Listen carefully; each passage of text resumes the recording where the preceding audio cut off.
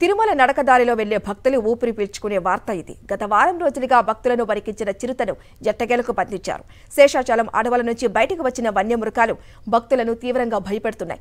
ఇటీవల జరిగిన ఘటనల దృష్ట్యా అధికారులు పటిష్ట రక్షణ చర్యలు ఏర్పాటు చేయడం నిఘాను పెంచడంతో తాజాగా మరో చిరుతను పట్టుకున్నారు.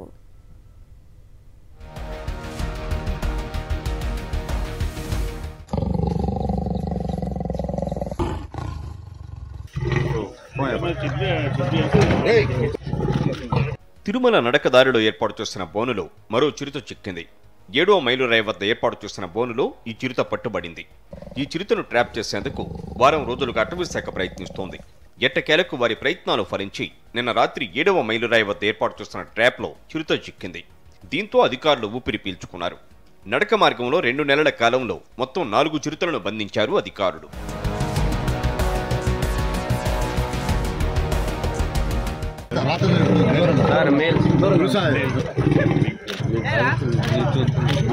శేషాచలం అడవుల నుంచి బయటకొచ్చిన వన్యమృగాలు గత కొద్ది రోజులుగా ఇటు టీటీడీని అటు శ్రీవారి భక్తులను తీవ్రంగా భయపెడుతున్నాయి. జూన్ నెలలో అలిపిరి నడక మార్గంలో ఐదేళ్ళ బాలుడు కౌశిక్ పై చిరుత దాడి చేసింది. ఆ ఘటన మరొక ముందే లక్షిత అనే మరో బాలికపై దాడి చేసి క్రూరంగా చంపేసింది. దీంతో అప్రమత్తమైన టీటీడీ అధికారులు అలిపిరి నడక మార్గంలోని ఏడవ మైలు నుంచి శ్రీ లక్ష్మీ నరసింహస్వామి ఆలయం వరకు హై అలర్ట్ జోన్గా ప్రకటించారు. ఈ ప్రాంతంలో భద్రతా సిబ్బందిని నియమించడంతో పాటుగా భక్తులను గుంపులు గుంపులుగా తిరుమలకు పంపుతున్నారు. చిరుతలు తిరిగి ఆయా ప్రదేశాలలో ట్రాప్లను ఏర్పాటు చేయడంతో ఈ రెండు నెలల వ్యవధిలో మొత్తం నాలుగు చిరుతలు చిక్కాయి. తిరుమలలో చిరుతల సంచారంపై సుమారు మూడు వందల కెమెరాలు ఏర్పాటు చేసి పరిశీలిస్తున్నామని చెప్పారు అటవీ అధికారి నాగేశ్వరరావు. ఇప్పటి వరకు పట్టుకున్న చిరుతలే కెమెరాల్లో కనపడ్డాయన్నారు.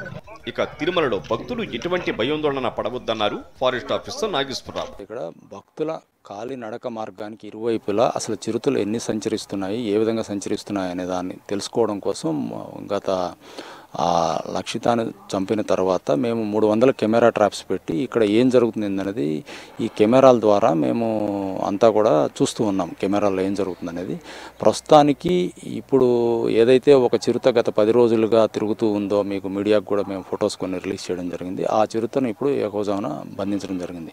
నడిక మార్గంలో గత కొన్ని రోజులుగా చిరుతల సంచారం భక్తులను తీవ్ర భయోందోళనకు గురిచేస్తోంది. వాటిని ట్రాప్ చేసేందుకు తీవ్రంగా ప్రయత్నించామన్నారు ఫారెస్ట్ రేంజ్ ఆఫీసర్లు. గతంలో ఒకసారి బోను వద్దకు వచ్చి వెళ్ళిందని గత వారం రోజులుగా చిరుత తప్పించుకుంటోందన్నారు. ఏడవ మైలిరాయి వద్ద ఏర్పాటు చేసిన బోనులో ఎట్టకేలకు చిరుత చిక్కిందని ఫారెస్ట్ రేంజ్ ఆఫీసర్ తెలిపారు. మామూలుగా గడిచిన పది రోజుల నుంచి జరిగిన జరుగుతున్న ఆపరేషన్ ఇది అందరూ మీ అందరికీ తెలుసు. కానీ అది దగ్గర దగ్గర వస్తూ పోతుంది. ఆ ఫొటోస్ కూడా మీకు రిలీజ్ చేశారు గవర్నమెంట్ ఫారెస్ట్ వాళ్ళు. ఈ క్రమంలో దీని గురించి ప్రత్యేకంగా మా రేంజ్ ఆఫీస్ వారు సీనియర్ మోస్ట్ వీళ్ళంతా కొంచెం స్టడీ చేయడం మొదలుపెట్టారు. ఎందుకంటే దగ్గరికి వస్తుపోతుందంటే అది ఇంటెలిజెంట్ అనిమల్ అనే ప్లాన్ చేశారు.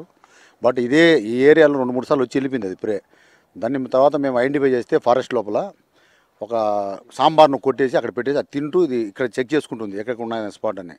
ఆ క్రమంలో నాలుగు రోజుల తర్వాత దాని ప్రే అక్కడ అయిపోయింది. అయిపోయిన తర్వాత చిన్న చివరిగా ఈ ఈ ఏరియాకి రావడం జరిగింది అది. వచ్చిన తర్వాత ఆ సౌండ్కు తెల్లారుజామున నాలుగున్నర ఐదు మధ్యలో అది ఇక్కడ ఒకసారి సంచరించింది. ఫైవ్ ఫైవ్ థర్టీ మధ్యలో అటాక్ చేసేసింది అది. అటాక్ చేయడంలో ఆ ప్లాన్లో ట్రాప్ అయిపోయింది. ఎట్టకేలకు చిరుతను బంధించడంతో అటు అధికారులు ఇటు భక్తులు ఊపిరి పీల్చుకున్నారు. గత రెండు నెలలుగా ఎంతో భయపడ్డ నడకదారి భక్తులు తాజాగా చిరుత బోనులో చిక్కడంతో సంతోషం వ్యక్తం చేశారు.